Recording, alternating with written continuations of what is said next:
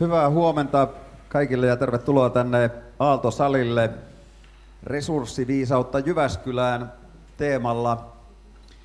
Haluan toivottaa teidät kaikki tervetulleeksi ja erityisesti meidän sitralaiset vieraat ja ystävät ja yhteistyökumppanit yliasiamies Mikko Kososen johdolla tervetulleeksi. Samoin I like to wish uh, my colleague uh, Bill Randall from Brighton very warmly welcome to Jyväskylään to this uh, seminar. Welcome. Tuota, tuossa alkujohdattelussa jo kerrottiin siitä tärkeästä periaatteesta, mikä tämän resurssiviisauden takana on. Ja täytyy myöntää, että niin minulla, niin kuin tuossa kuultiin, että onneksi muillakin on ollut tässä syksyn aikana, talven aikana jonkun matkaa pohdittavaa, mitä on resurssiviisaus. Kaksi sanaa, resurssi ja viisaus yhdistettynä yhteen. Ja tuossa taululla äsken oli ajatuksen virtana kuvattuna niitä asioita, mitä siihen on kytkettävissä. Kun tässä meidän ohjelmassamme aivan kärkikohtana lukee, että resurssiviisaus on tulevaisuudessa yksi menestyksen tärkeimmistä tekijöistä. No mitä se voi tarkoittaa Jyväskylässä? Miten juuri Jyväskylä? Jyväskylä on yksi niistä Kehä kolmosen ulkopuolella olevista kasvukeskuksista keskuksista ja kaupungeista, jossa tapahtuu kaiken aikaa rakentamista. Väestömäärä kasvaa, työpaikat kasvavat ja jotta se ja ne voi kasvaa resurssiviisaasti on varmaan yksi keskeinen peruste ja asia sille, että olemme täällä. Haluan jo tässä yhteydessä lausua kiitoksen myös Sitralle siitä, että, että me olemme löytäneet toisemme. Tämä on ollut tärkeä asia ja se on ollut tärkeä asia täällä meillä ja mitä enemmän teidän porukan kanssa keskustelee, niin sen paremmalta tuntuu ja sen varmemmin tietää, että olemme oikealla tiellä sinne tulevaisuuden menossa. Tämä on keskeinen asia tässä kaupungissa, joka on ikärakenteeltaan nuorimpia. Meidän mediaani-ikä on 24 vuotta tässä kaupungissa. Me olemme yksi koulutetuimmista kaupungeista asukasmäärästämme asukaslukuun suhteutettuna. Yliopisto, ammattikorkeakoulu ja muu ammatillinen koulutus kertoo siitä, että me tähyämme viisaalla tavalla myös osaamisen koulutuksen kautta tulevaisuuteen. Tämä on niitä asioita, joissa haluamme myös kytkeä kaikki ne osaajat ja toimijat, elinkeinoelämän yritysten yrittäjiä mukaan lukien tähän, tähän resurssiviisaaseen toimintaan. Kun olemme reilun vuoden päivät pohtineet omaa innovatiivisen kaupungin ohjelmaamme, kasvusopimusohjelmaamme. Siinä sen pohja on nimenomaan keskeisten toimijoiden kautta pohdittuna resurssiviisaasti. Jyväskylän kaupunki, Jyväskylän yliopisto, Jyväskylän ammattikorkeakoulu, Jyväskylän elinkeinoyhtiö, kehitysyhtiö Jykes, Keski-Suomen liitto, ELY ja muita toimijoita elinkeinoelämän kautta ollaan yhdessä mietitty sitä tulevaisuutuutta. Mikä on se menestyksen konsepti, jolla Jyväskylä säilyy sillä tiellä ja pysyy sillä tiellä, että me olemme 10, 20 ja 30 vuodenkin kuluttua sillä tiellä, missä menee suomalainen menestyskaupunki. Meille se tarkoittaa paitsi sitä kasvua, niin se tarkoittaa meille myös sitä viisautta, millä se kasvu synnytetään. Ja oikeastaan sillä tavalla hyvällä tavalla sattui meille, että ollaan yhtä merkittävää aluetta, jossa vanha resurssi siirtyy uuteen käyttöön. Jyväskylän vanha teollinen perusta, jossa yksi on paperitehdas nimeltä Kankaan paperitehdas tuossa kilometrin päässä tästä, antanut sitä työtä ja turvaa vuosien ja vuosikymmenten aikana tähän kaupunkiin. Nyt kun paperiteollisuuden toiminta niin myös tuossa meidän Kankaan tehdasyksikössä, jossa oli 300 työpaikkaa loppuvaiheessaan, sitä on lähdetty uuteen toimintaan ja asiaan pohtimaan. Ja otimme jo alkumetreiltä tuon Kankaan alueen erityiseen pohdiskeluun resurssi viisaalla ajattelulla tämän päivän näkökulmasta jo ajateltuna näin. Alueelle ollaan suunnittelemassa noin viidelle tuhannelle asukkaalle, yli, yli kahdelle tuhannelle työpaikalle toimintaympäristöä.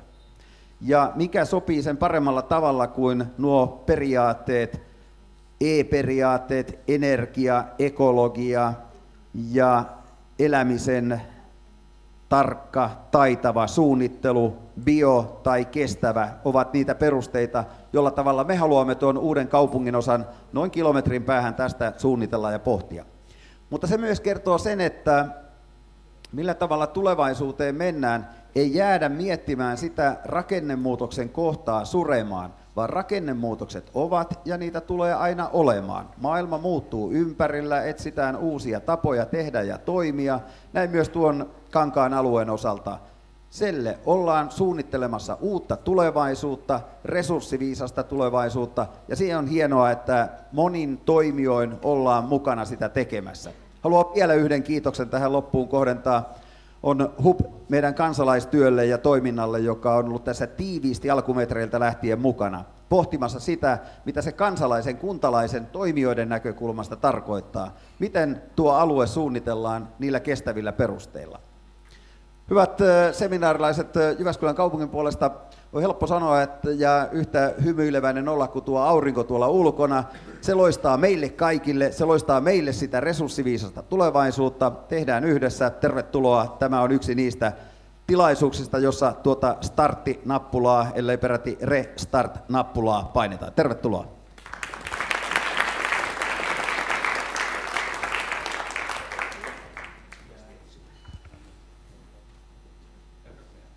Kyllä, joo. Kiitoksia Markku oikein paljon. Ja seuraavaksi tosiaankin kuullaan Sitran terveiset Sitran yliasiamieheltä Mikko Kostoselta. Ole hyvä Mikko. Kiitos Johanna. Ja kiitos Markku, arvon kaupunginjohtaja, upeista avaussanoista Jyväskylän kaupungin puolelta. On kerta kaikkiaan hieno nähdä, että kaupunginjohtaja itse puhkuu intoa tämän asian tiimoilta. Ja niin täytyy ollakin, koska tässä on kyseessä niin merkittävä, tärkeä hanke myös Sitran kannalta ja koko Suomen kannalta ja ehkä jopa koko maailman kannalta. Ja, ja, ja kun, kun pannaan niin kuin tuulemaan tässä, niin meillä on, meillä on hienot, hienot tota mahdollisuudet edessä. Mutta vielä kerran kaikille lämpimästi munkin puolesta tervetuloa. On erittäin upeita nähdä näin monilukuinen ja sanoisin moni osaajajoukko, moninainen joukko täällä tota paikalla tänään ehkä tällä kertaa on, on kyse siitä, että mitä useampia sopan keittejä, niin sen parempi soppa tällä kertaa syntyy, koska meistä ei kukaan oikeastaan nyt tiedä, mistä tässä resurssiviisaudesta oikeastaan kysymys. Että minä ainakin nyt Sitran yliasemiehenä rehellisesti tunnustan, että en tiedä. Ja sitä me ollaan täällä nyt yhdessä etsimässä kukaan ei varmastikaan ihan täysin sitä tiedä ja sen takia on erittäin tärkeää, että on monipuolinen, moninainen joukko paikalla. Täällä on nytkin tota, on kansalaisyhteiskunnan edustajia, on kansalaisia, on yritysten edustajia, on kaupungin edustajia. Kaikkia tarvitaan, koska kaikkien yhteispelistä tässä nyt on kysymys. Ja, ja, ja sen takia tämä, tämä moninaisuus on tässä erittäin tärkeä rikkaustekijä. Tämä resurssiviisaus tai sanotaan ekologinen kestävyys kaiken kaikkiaan luonnonvarojen älykäs käyttö, siihen liittyvät uudet toimintatavat ja liiketoiminnat on ihan Sitran uuden tai muutaman vuoden vanhankin nyt strategian ihan ytimessä.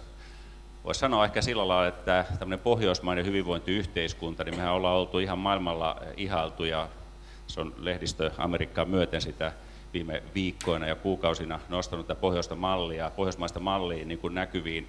Ja, ja sillehän on ominaista se, että ollaan osattu hirveän hyvin yhdistää talouskasvu ja sosiaalinen oikeudenmukaisuus. Ja, ja, eli me osataan yhdistää tämmöisiä vähän niin kuin ristiriitaisia asioita. Mutta niin kuin Johanna taas tuossa aluksi todetakin, niin ei tähän pohjoismaisen mallin kutyymiin vielä ole sisään rakennettu kovin hyvin tätä ekologista kestävyyttä. Se ei ole, se on vähän niin kuin irrallinen asia ja siitä on niin kuin omat harrastajansa, mutta sehän täytyy saada tämän yhteiskuntapolitiikan ihan ytimeen, kovaan ytimeen, muuten ei tule asioista hyvä. Ja, ja, ja se on tietysti se niin kuin Sitran iso agenda tässä, koska se on ihan selvää, että niin kuin hyvinvointia, kasvua ei voi jatkossa enää rakentaa niin kuin luonnonvaroja tuhlaamalla. Ja tämä, sitä kautta tämä resurssi, resurssikestävyys, resurssiviisaus on ihan, ihan ydinasia. Me kaikki tiedetään, että raaka-aineiden hinnat on, on nousussa, energiahinta on nousussa, hintavaihtelut on hurjan suuriin, ne aiheuttaa yritystoimilla paljon ongelmia. Meidän on pakko löytää niin uusia, resurssitehokkaampia tapoja toimia ja löytää tämmöisiä ekosysteemejä, yritysten välisiä toimintatapoja, joilla ehkä tasataan myös niitä hintavaihtelua, kun kykyetään niin kuin ymmärtämään, että millä voidaan se symbioosi rakentaa. Eli tässä on, tässä on niin kuin valtavan isoja, hienoja mahdollisuuksia niin kuin avautuu edessä, mutta meidän niin kuin perinteinen, voisiko sanoa tämmöinen innovaatiopolitiikka ja toimintatapa, tämmöinen siilomainen toimintatapahan ei mitenkään erityisen hyvin tue tällaista, tällaista niin kuin symbioottista ekosysteemiajattelua, mitä se nyt niin kuin haluakaan sitten nimeä käyttää. Ja, ja sen takia tämä on, tämä on niin, kuin niin tärkeä. Tämä on myös hirveän tärkeää, että tämä tehdään paikallisesti, koska, koska, koska tota, musta niin kuin, on aika selvää, että, että näin niin kuin kompleksista ilmiötä ei niin kuin edes pienen maan niin kuin Suomen tasolla oikeastaan voi niin kuin hallita, puhumattakaan jossain Euroopan tai maailman tasolla, vaan täytyy mennä niin kuin kaupunkitasolla. Ja sen takia minusta kaupunkien rooli näissä asioissa on tulossa niin kuin entistä tärkeämmäksi, koska silloin voidaan niin kuin konkreettisesti niin kuin tarttua asioihin ja voidaan osoittaa niitä erilaisia niin kuin uusia yhteyksiä eri toimijoiden välillä. Ja, ja, ja sitä kautta niin kuin todistaa, että tässä on jotain uutta ja jotain niin kuin oikeasti voidaan saada aikaa. Ja sitten kun me Jyväskylän kanssa toivon mukaan tässä nyt onnistutaan onnistumaan tämmöistä uutta, uutta toimintamallia rakentamaan, niin, niin, niin siitä on sitten hieno lähteä sitä levittämään ja ottaa mukaan sitten muita kaupunkeja. Jyväskylä on selvästi tässä nyt niin kuin edelläkävijän paikalla Suomen mittakaavassa ja ehkä, niin kuin sanoin tuossa aluksi, ihan maailmankin mittakaavassa, koska se ajatushan tässä on ilman muuta se, että ei tämä nyt vaan jää Jyväskylään. Sitran intressi on se, teillä on tietysti Jyväskylässä halu näyttää, että te olette niin kuin edelläkävijä tässä ja, ja saada kaikki se hyöty, mitä tästä projektista teille on saatavissa ja, ja ne hyödyt on ilmeisen suuret. Mutta, mutta Sitralla on sitten intressi levittää tätä selvästi tätä toimintamallia sitten niin koko Suomeen, eri, eri kaupungeihin, ja sitten toivon mukaan sitä kautta sitten pieni Suomikin pystyy näyttämään mallia maailmalla näissä ilmastokysymyksissä. Näihin haetaan ratkaisuja ympäri maailmaa näihin ongelmiin. Ja nyt näyttää tuo Johanna tuolla, mä sanon, nyt, nyt, nyt, nyt, tota, nyt olisi paras lopettaa. Joo, joo, joo, selvä. Asia ymmärretty, asia ymmärretty. Niin, Kiitoksia, tota, Mikko. Hyvä, tältä pohjalta. Tervetuloa vielä. Kiitoksia.